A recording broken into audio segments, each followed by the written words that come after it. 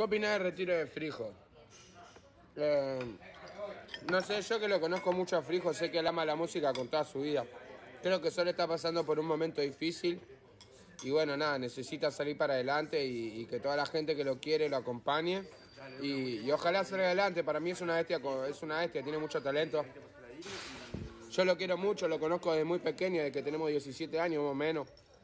Fuimos al colegio juntos, empezamos a rapear juntos, nos pasaron 20.000 cosas juntos, así que lo que más quiero es verlo bien. Yo también tuve momentos que estuve también muy mal, muy apagado, que no encontraba mi, rumbo, mi destino y bueno, y ahora estoy en el mejor momento de mi vida brillando, entonces yo sé que es posible salir de eso y él es una bestia.